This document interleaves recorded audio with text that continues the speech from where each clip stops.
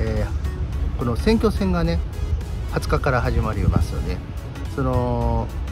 せ TikTok 1000円 Tik あまあごめん。あじゃあ最初からで大丈夫です。はい。ではえっとこの若者向けの政策を教えてください。はい、えー、20日から、えー都知事選のあの選挙戦が始まりますよね、えー今回若者を対象とした僕の考えを伝えるっていう意味での基本ね啓発っていう動画を作っています。あのこれから先もどんどんどんどんこう使っていってもらうためにっていう意味でそういうことにしてるんですけどもあの政治活動ってなってしまうとあの本当にねこう固まっちゃうというかね。あの若者が今どれだけ興味があるかって言ったらそんなに今ある子はあるけどない子は全然ないじゃん。そのない子にやっぱり伝えていくっていう必要性があるから今回は啓発を中心にやっています。その中にあの子どもたちの教育とかをこれからどうしていくかっていう入り口のことも話させていただいてるんですね。あの今回若い子って最近結婚しないじゃないですか。あの本当にね結婚適齢期の若者にこうきちっとねこう愛する人と早く結婚してほしいんです。よで早く子供を産んで早く子供をあの育ててほしいんですね。なぜかというとあのこう僕もそうだけど僕って70歳と40歳の間に生まれたんですね。でで僕も生まれた時からねほど生まれた時はほぼもう目が見えなかったんですよ。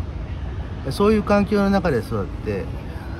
あのまあ医学の進歩によってね本当に僕、まあ、本当によく見えるようになったけどもまあ手術したとかありましたけど本当にねあのこう周りにね支えられて今があるんだけどもまずは若者に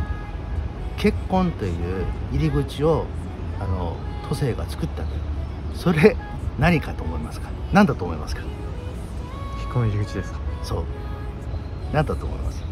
それはお金を渡すとかそういうことではなくてですか？わかんない。はい。それってねまずはあの結婚適齢期な時にこう挙式をするっていうチャンスを若者にね作ってあげるってことなんですよ。だからお金がない、えー結婚したくてもできない。だからだったら入り口えー挙式の費用とかそういうまあ今やったらパックで15万とかさ安かったら10万とかさそういうのでやっぱり結婚できるでしょ。そういうプランもあるわけだから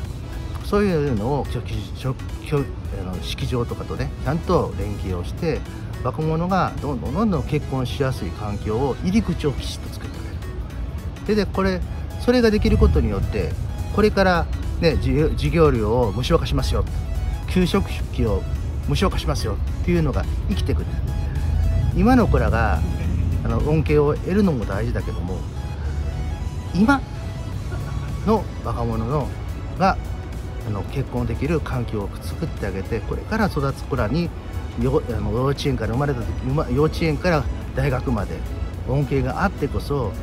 あのこう意味があると思うんですよね。それとね僕の友人の人も子供ね5人も6人もんですよ。今まで全く恩恵得てないですね。一生懸命働いて学費を払ってで今更さ学費が無料になってでで自分たち苦労してきたの何なの？体の身を削って仕事して仕事して子供を大学に行かせたのにあの今まで苦労したと恩恵まずないんですよ。だから今やるべきことは今の人の授業料免除も大事。それを今度は入り口を作るっていうことも大事。もう一つ僕一番大事だと思ってるのは今まで恩恵を得れてない人の援助をどれだけしてあげるかっていう人もそれも大事。だから本当にこのこの3本がやっぱりきちっと整ってこそあの子供があの本当に安心してあの生活もしていけるし親御さんとかも本当にね子供を大切にできる。お金がないことによって虐待があったりねするでしょ大体ねお金がないのが原因だから。そういう環境をねなくしてあげていかないとやっぱりあの子供って本当にねあのこう子供たちがあの笑顔で楽しんでるところを見たらすごく幸せじゃん。みんながね。それがうるさいっていうやつうるさいっていう人もいてはるけども大体まあ周りはもうそういうふうに思ってる方がほぼほぼだから。だからあの本当に子供たちが幸せで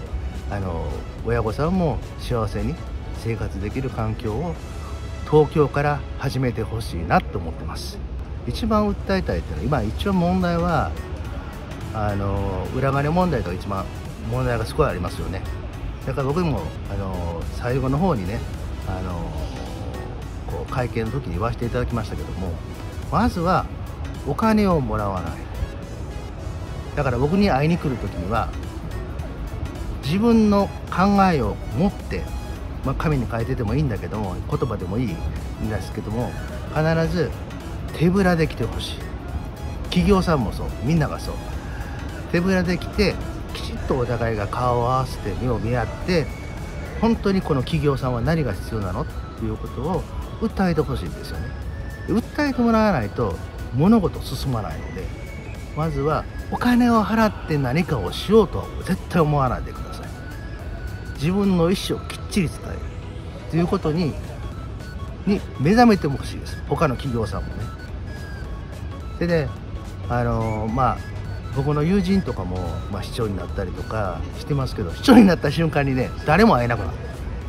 秘書秘書課の入り口でバブロックがブロックされちゃって一般の市民が会えなくなっちゃうんですよね。そんな閉ざされた都政っていうのは作ったら絶対ダメだと思うんですよ。子供が来てもあ都知事に会いたいって言ってもあ会えますよっていう環境をやっぱり作っていってあの本当にこう開かれた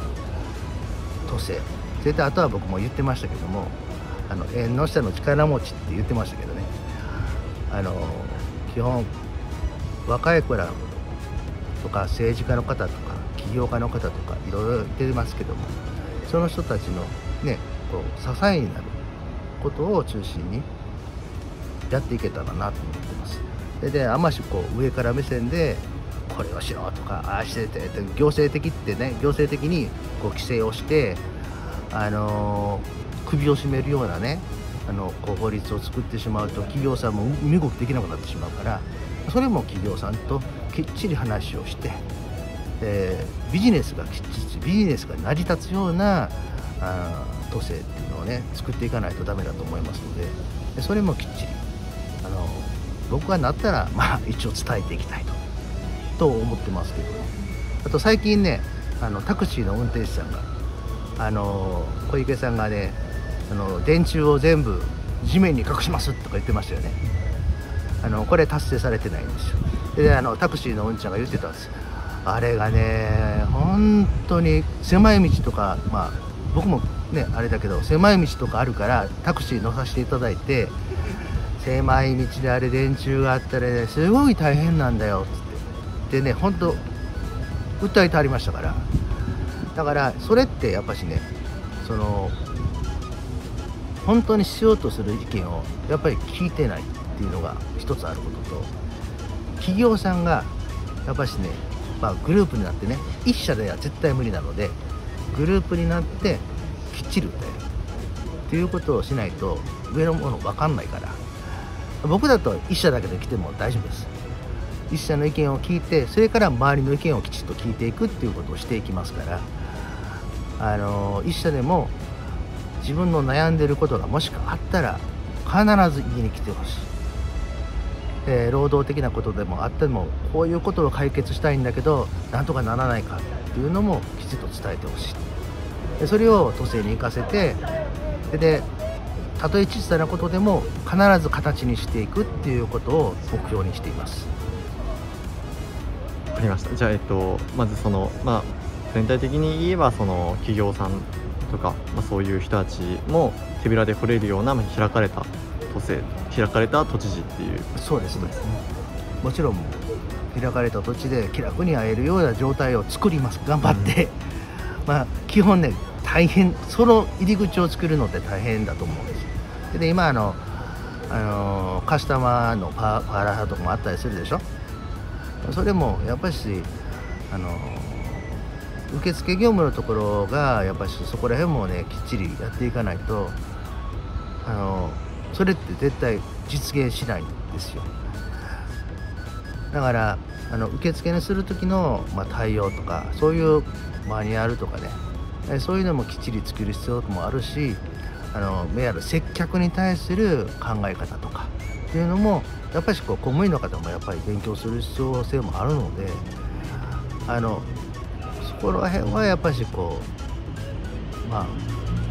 一般企業さんのホテルとかねそういう礼儀を重んじた対応をしていくっていうのは絶対に必要になってくると思うのでそれもきっちりやってやってもらえたらなって思います。